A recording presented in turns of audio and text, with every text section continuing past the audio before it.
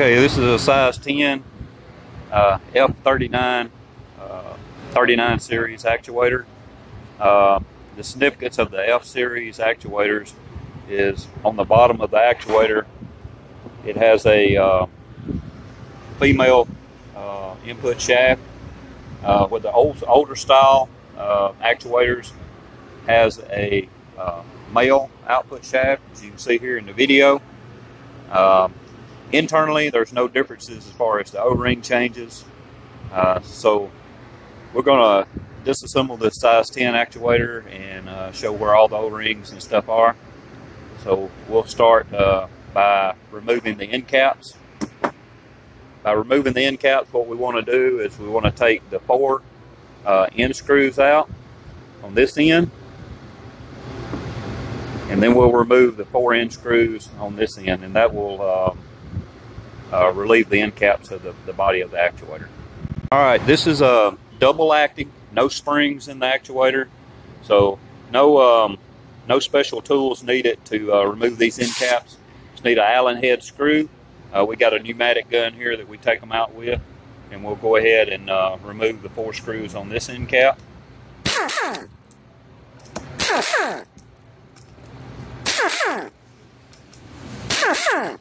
All right, once these four screws are removed, uh, the end cap should uh, slide, slip right off of the actuator. Uh, sometimes on the larger models, uh, you may need to get a little small screwdriver or something and, um, and, and get it started. All right, flip it over.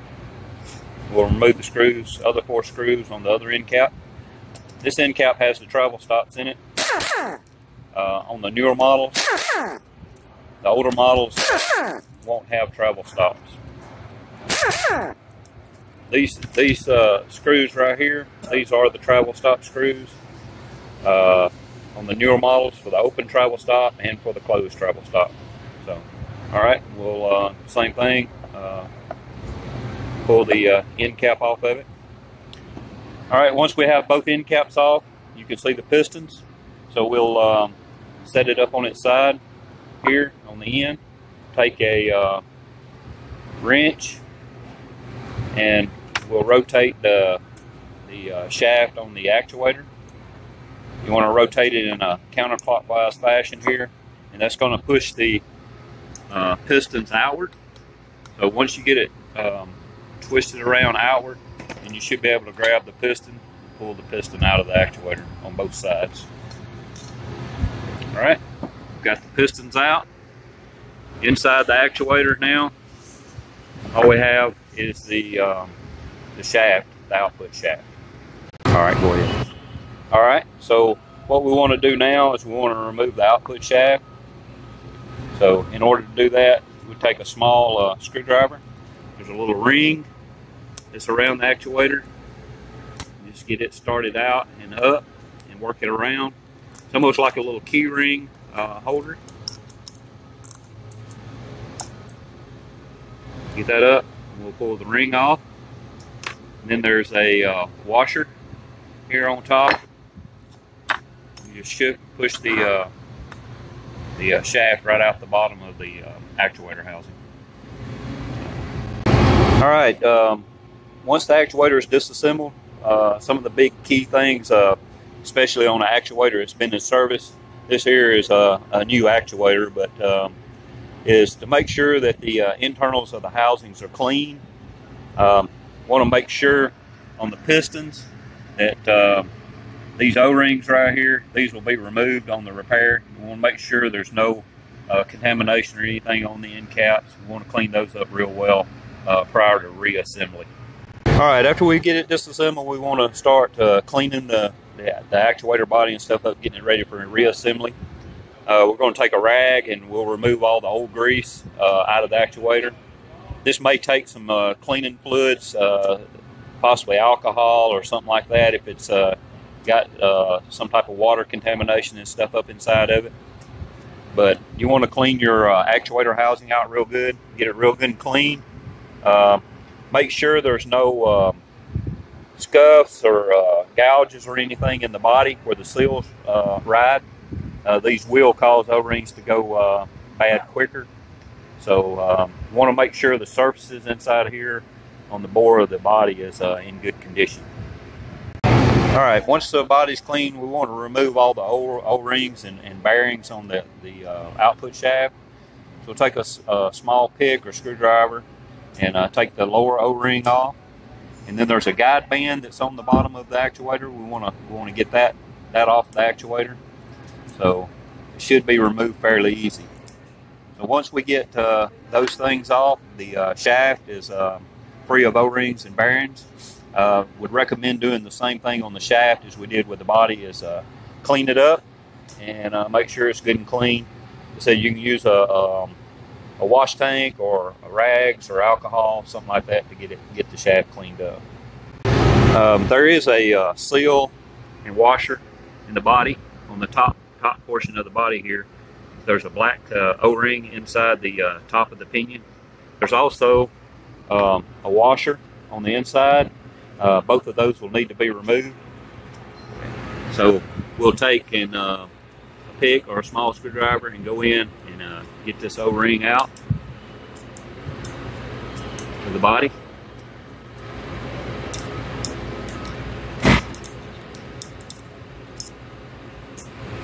All right, we've got the O-ring out, and then the same thing with the washer. We should be able to just uh, um, either nudge it a little bit and um, get this washer out of the body.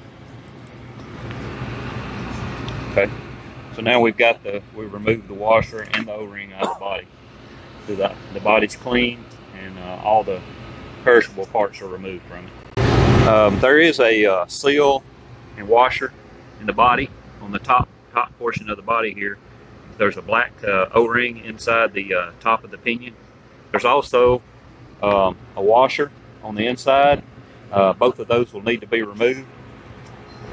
So we'll take and uh, a pick or a small screwdriver and go in and uh, get this O-ring out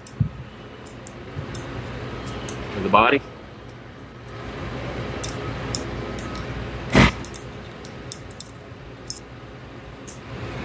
Right, we got the O-ring out, and then the same thing with the washer. We should be able to just uh, um, either nudge it a little bit and uh, get this washer out of the body.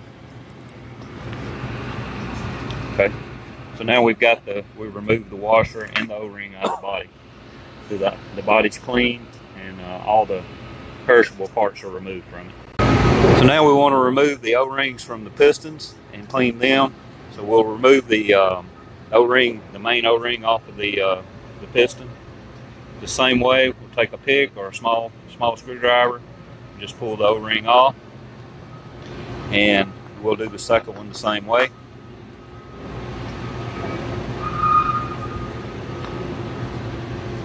And then once those are removed, we want to clean the um, the O-ring grooves in here where the O-ring goes. You want to make sure those are good and clean.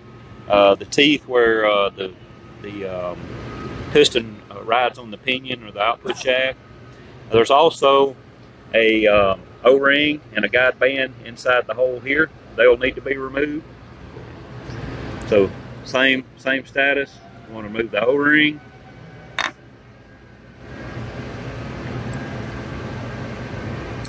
And the guide band.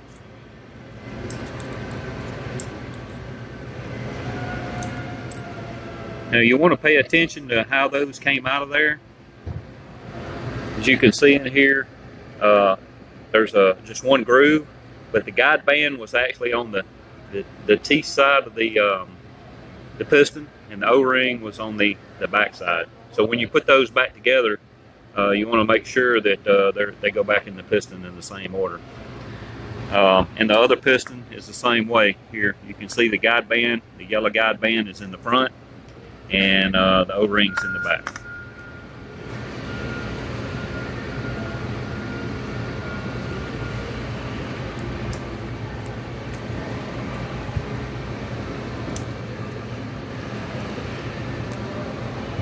Alright, so now we've got uh, the pistons completely uh, disassembled from the perishable items.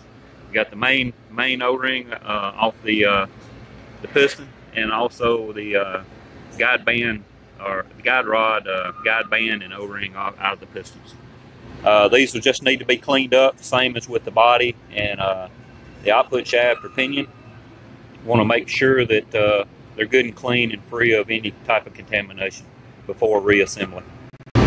Okay, we've got the the um, pistons here cleaned up. One one note I want to make is, even though these uh, pistons look the same, uh, they are different in regards to uh, one piston is a uh, air side piston and one one side's not. Uh, the easy way uh, to tell that is if you look at the the uh, rotate the piston up and look at this hole here. This hole here goes all the way through uh, the piston and the guide rod. this is the air side piston. the other piston here, you notice it, you can see the guide rod in the hole. So this is the non-air side piston. Uh, this will be uh, important when you're putting it back together. Uh, if these pistons get put in the, the wrong direction, uh, the actuator will not work. So um, we'll um, note that uh, again uh, when we reassemble the actuator. So now we need to get the O-rings and the, the guide bands out of the, um, the end caps. So we'll start with this end cap here. there's an O-ring seal on the outside of it here uh, that keeps contamination and also seals uh, the air off on double acting. Uh, inside this hole here, you've got an O-ring. Uh, same situation, you got an O-ring and a uh, guide band in here. You want to make sure when you uh, take those apart that you get them back in in the same orientation. So this guide band here with a, a pick, it's a lot easier to get the guide band out.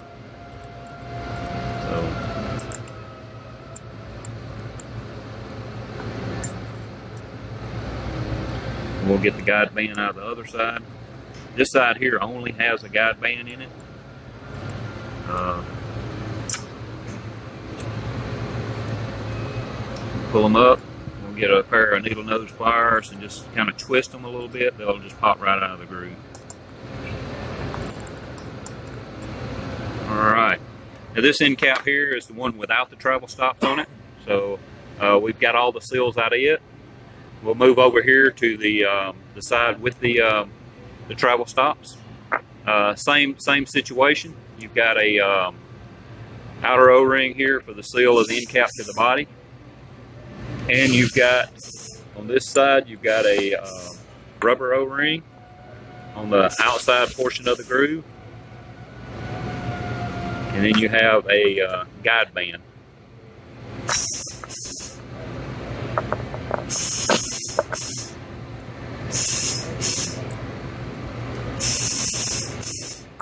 These guide bands have a gap in them. Um, so when you start getting them out, if you'll start where where the uh, guide band ends, it's a little easier to start start getting them out.